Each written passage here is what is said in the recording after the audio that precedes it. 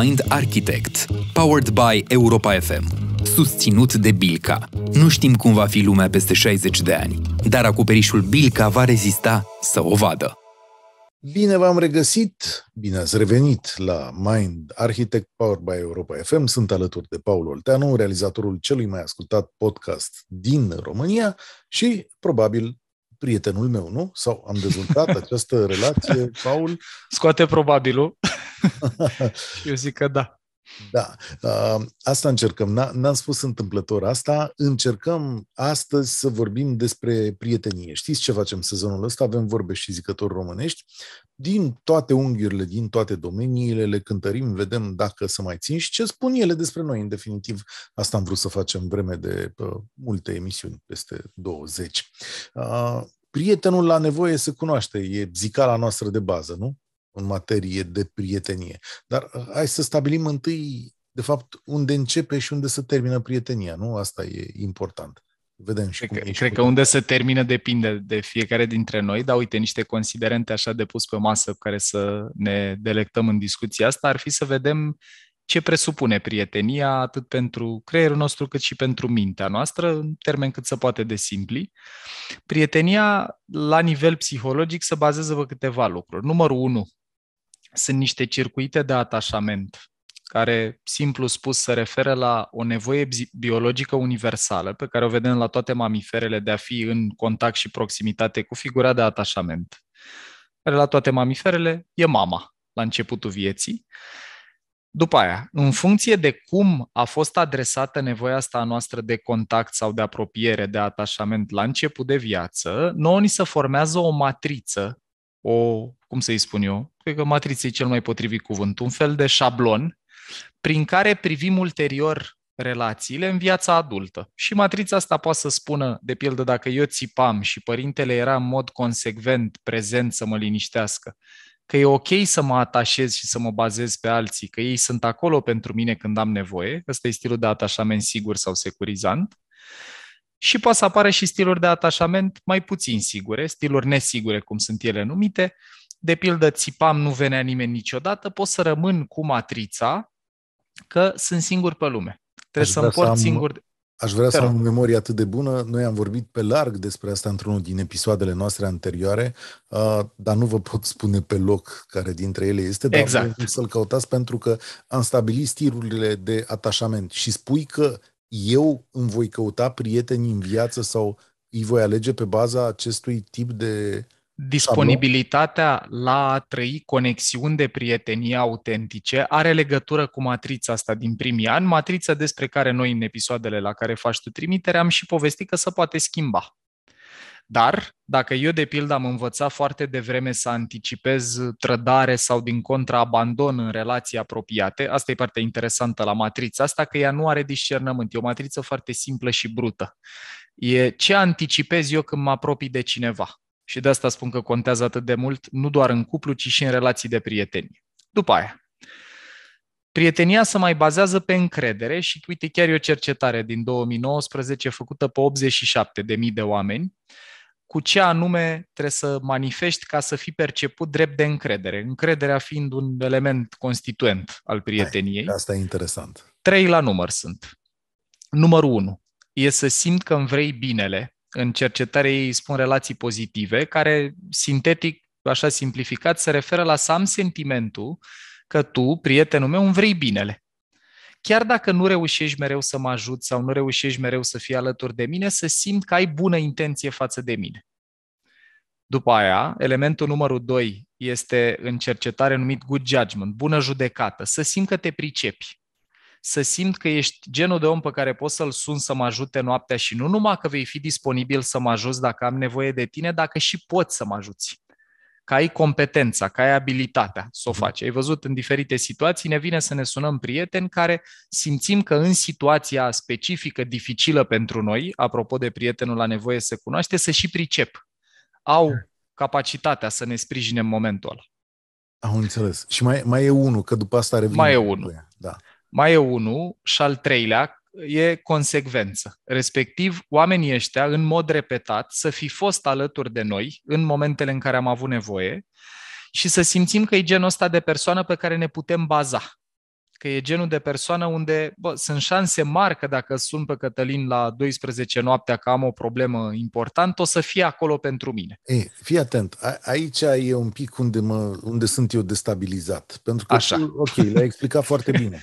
Dar de ce ai introdus autorul, care e autor popular, da. uh, conceptul de nevoie sau de ce a pus conceptul de nevoie alături de conceptul de prietenie? Prietenia se testează prin răspunsul la nevoie pe care mi l-ai descris tu acum? În momentul în care ne e bine, e strict, e ceva ce putem Așa. oricare dintre noi simula pe propria piele. Nu avem nevoie de cercetări pentru asta. Când ne e bine, relațiile nu prea ne sunt puse la încercare.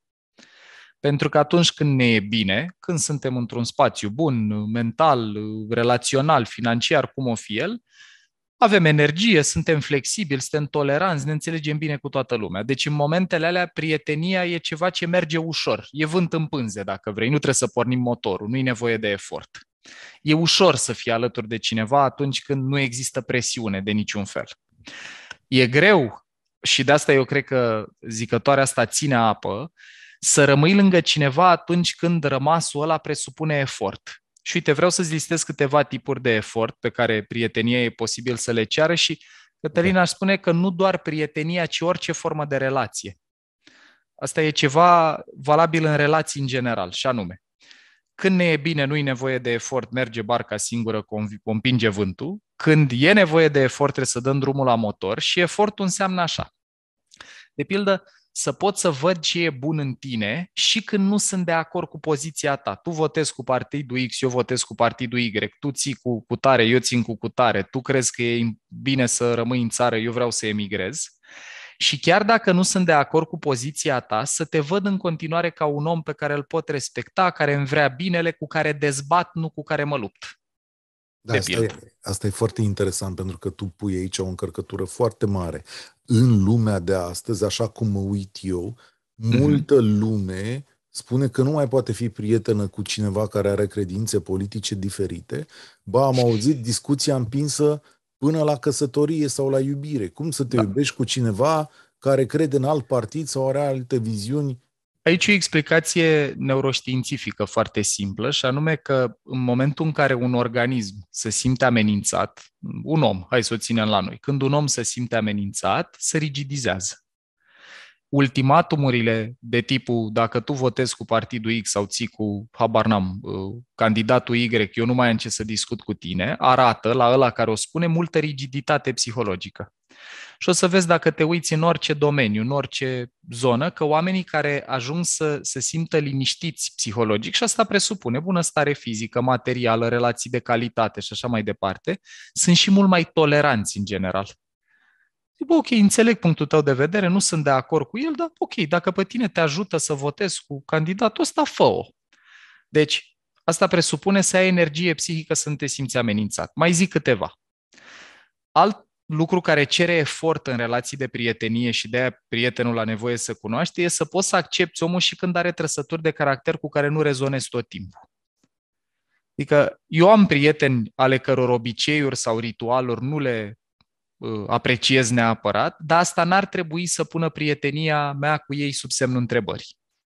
Faptul că, nu știu, Uh, am o persoană care consumă alcool în exces în cercul de prieteni, e alegerea lui, eu pot în calitate de prieten să-i spun omule, mi se pare că îți faci rău, dar e doar o observație dacă vrei să faci ceva cu ea bine, dacă nu, nu.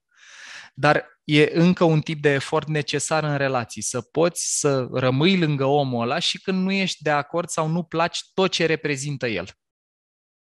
Ok.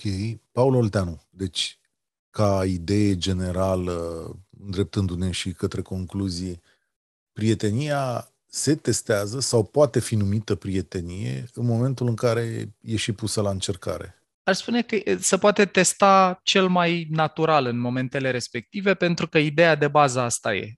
În momentul în care ți-e bine, e foarte ușor să ai relații cu oricine, că ai multe resurse psihice și emoționale, ți-e ușor să tolerezi pe oricine când ești într-o stare bună la nevoia asta din zicătoare, prietenul la nevoie se cunoaște, noi în general avem nevoie de alții când ne e rău. Ăla e momentul în care punem mâna pe telefon și cerem sprijin și fie vorba, Cătălin, între noi, în cultura românească, vulnerabilitatea, care e încă un atribut pentru prietenia autentice, e ceva ce noi nu accesăm cu ușurință. Ne e greu să cerem ajutor. Ne e greu să sunăm pe cineva. Și în momentul în care totuși o facem și ne arătăm vulnerabilitatea, prietenia se sudează, dacă vrei, la flacăra asta a adversității. Vezi și în, în echipe de orice fel. După ce trăiești adversitate cu colegii de birou, o perioadă foarte încărcată sau treci în relația de cuplu prin niște perioade extraordinar de dificile, dacă reușești să le supraviețuiești cu efortul de care vorbeam mai devreme, cu consumul de care vorbeam mai devreme, la final, când trece flacăra adversității, metalul ăla e mult mai rezistent. Prietenia e mult întărită. Nu pot să nu zic aici să aduc aminte de studiul despre care mi-ai vorbit uh, cu un an aproape în urmă, nu? Uh, da. Cel cu fericirea, nu? De asta și țin foarte mult la uh, zicala asta, la prietenul la nevoie să se cunoaște și eu personal, cum să spun, pot să zic dincolo de cercetare că ce spune studiul ăsta, pornit în 1933 și care se desfășoară până în prezent, e cel mai lung studiu longitudinal din istoria omenirii, Uh, e că cel mai bun predictor pentru fericire sustenabilă e calitatea relațiilor pe care le avem cu cei din jur și subliniez ideea asta pentru că uh, studiul nu se referă strict la cuplu. Asta e partea interesantă. Eu m-am gândit că, ok, contează relația de cuplu. Da, contează și relația de cuplu, dar contează relația cu prieteni, comunitate, cu cei din jur. Iar relațiile autentice astea care rezistă zeci de ani, de cele mai multe ori au trecut și printr-o formă de adversitate. Eu pot confirma și din propria viață că triajul prietenilor mei pe lângă criterii de familiaritate, de istoric, de lucruri de felul ăsta, a fost, s-a, s-a întâmplat și în momente în care mi-a fost foarte greu. Cine a simțit să fie acolo, câteodată fără să cer, câteodată când am cerut, versus persoanele cărora și cărora când le-am cerut ajutorul, n-au fost disponibile. Emoțional apare triajul ăsta. Nu e că m-am supărat și am zis eu nu mai vorbesc cu tine. Dacă mi-e bine, nu o să fii probabil prima persoană pe care o să o caut. Asta e. Să spunem la final, bravo România, proverb de calitate care trebuie... De păstrat ăsta, spune păstrat, că e, da. e de păstrat și de tatuat din niște puncte de vedere. El este Paul Olteanu, oameni buni, îl găsiți pe mindarchitect.ro cu mult mai multe explicații și cu colegii săi și cu prietenii săi, vorbind despre Stai. lucrurile absolut fascinante din, uh, din emoțiile și din creierul nostru. Mulțumesc, prietenul meu Cătălin. Vă recomand cu încredere uh, produsul lor. Uh, noi ne auzim uh, săptămâna cealaltă. Spor la treabă tuturor! Mind Architect, powered by Europa FM. Susținut de Bilca. Lumea va fi altfel peste 60 de ani. Acoperișul Bilca va fi la fel ca azi.